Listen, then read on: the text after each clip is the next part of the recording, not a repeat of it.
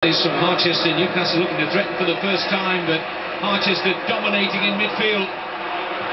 Here's Mackay setting up Kovac. Chance here. Pavel Kovac scores! And an instant impact for the Czech at the Dragon's Lair. Newcastle United's defence is deal with the threat. And Pavel